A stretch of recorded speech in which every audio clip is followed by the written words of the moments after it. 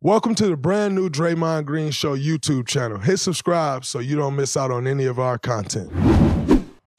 You have a free agency coming up this summer. And, you know, speaking of playing with, you know, you for the last 12 years, with Steph for the last 12 years and what we've built here, um, things change. You know, the NBA changes, cap situations change, this thing changed, that thing changed as you go into free agency um, this summer, what's a priority to you uh, as you look at you know the next three, four, five, whatever you decide you want to play?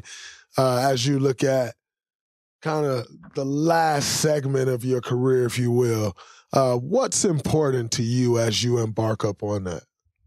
I just can't believe it's here. Like when you're uh, in your mid twenties, it's so crazy. You think you're going to play forever, really, and you think you just maintain that athletic level that seems effortless. Oh, but then as time goes on, you really do realize how demanding this job really is, and it's so physically demanding. And I was actually struggling with that a lot in the beginning of this year because of the unknown, you know. I mean, I might have let contract situations or playing time or just using making up a lot of excuses rather than just appreciating what is in front of me. And it took me and Steve like four real heart to heart talks to finally break my shell, being like, you know what? I gotta have fun this year. I deserve to have fun. Like we worked so hard to freaking win these games and play into June and uh, have fans on the road. I mean, my first couple years there might be a few Steph Curry jerseys in the crowd. Now it's like a whole contingent of Warrior fans on the road. It's insane. So I was kind of grappling with that a lot this year. It's almost like your own own mortality as an athlete. Like, man, I might not be able to elevate like I once did, or I might not slide my feet left and right like I once did, but I can still be a heck of a player if I just give gratitude and keep that perspective. Like I'm out here balling. Uh, because that was hard for me these last few years when you're uh, when you go through injuries and you're so used to playing at a certain level, guarding a certain guy, shooting certain shots, then you have to adjust all of that. That was the hardest part of my career. And it's still hard for me, you know, when I'm used to scoring 25 in a quarter, locking up the best player. Now I got to be pick my spots a lot more uh, just precisely, which is fine. I've finally come to accept like, look, I can still be a heck of a player. I can still be incredibly efficient.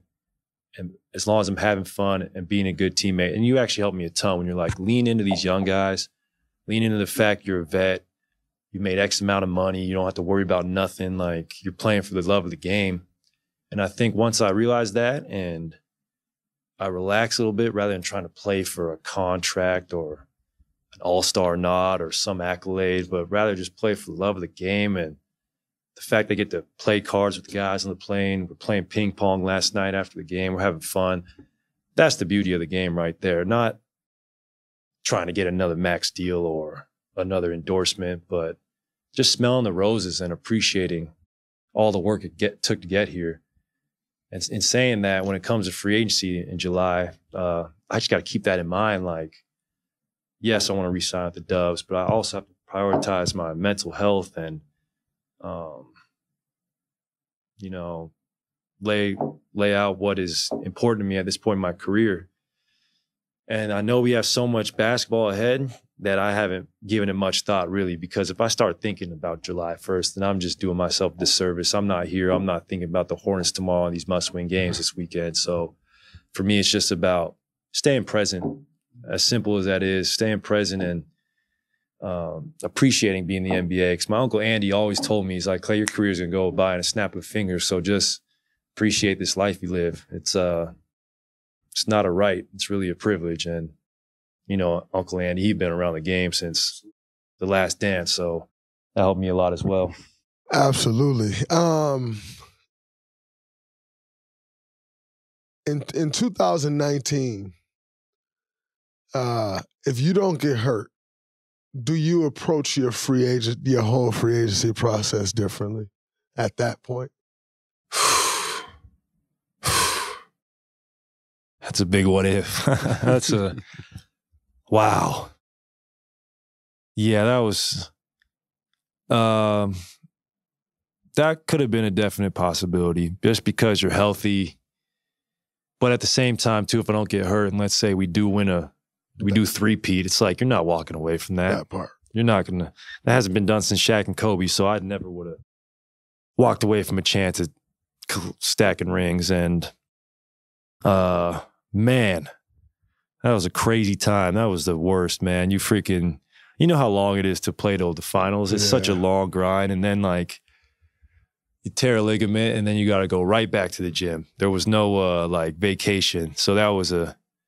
I was very grateful for my family during that time because I was just kind of lost without basketball, and you know, being on crutches and just having to build all that muscle back in my quad and the atrophy. That was not fun, especially after that five year finals run we had. That's a lot of.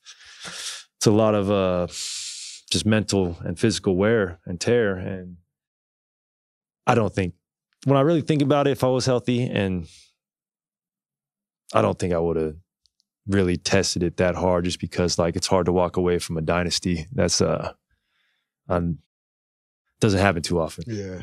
All right, the NBA season is in full swing, coming down the stretch. Then we move right into the playoffs in April, May, and June. I can't wait. Spice things up with DraftKings Sportsbook, an official sports betting partner of the NBA right now.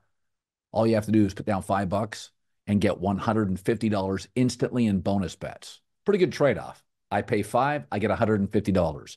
North Carolina listeners, do not forget Welcome to the party. DraftKings Sportsbook now live in your state, North Carolina. Download the DraftKings Sportsbook app. Takes 90 seconds. The code is Colin, C O L I N.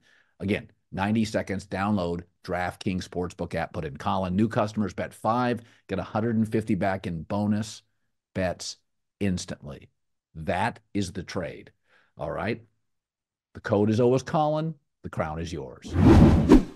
Gambling problem? Call 1 800 Gambler. Or in West Virginia, visit 1 800 Gambler.net. In New York, call 877 8 HOPE NY or text HOPE NY 467 369. In Connecticut, help is available for problem gambling. Call 888 789 7777 or visit ccpg.org. Please play responsibly. On behalf of Boot Hill Casino and Resort in Kansas, 21 and over. Age varies by jurisdiction. Void in Ontario. Bonus bets expire 168 hours after issuance. See dkng.co slash bball for eligibility and deposit restrictions, terms, and responsible gaming resources.